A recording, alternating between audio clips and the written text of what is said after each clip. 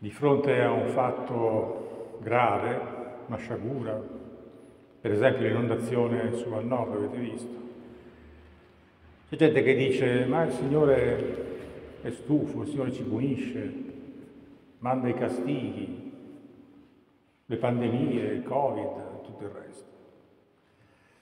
E secondo i Vangelo di oggi non è così, non è così.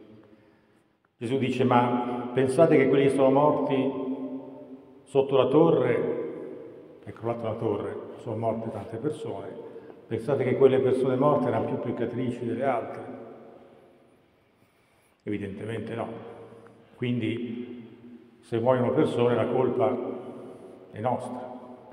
Cambiamento climatico, edifici fatti male e tutto quanto. Quindi lasciamo stare il Signore, non c'entra in queste vicende umane, purtroppo.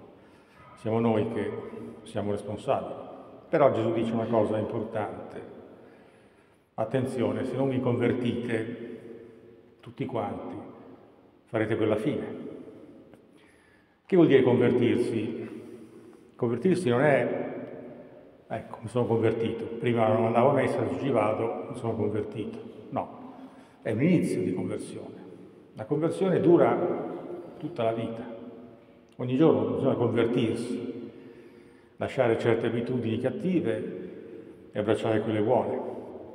Questa è la conversione, una cosa che dura anche tanto. E poi l'ultima riflessione di Gesù è questa, il vignaiolo. C'era un fico che non dà frutti.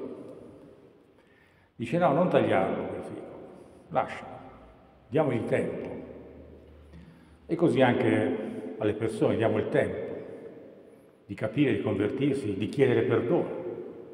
A volte subiamo gravi offese, lasciamo il tempo che la persona capisca che ci ha offeso, chiedere perdono e poi no, gli daremo il perdono quando sarà il tempo.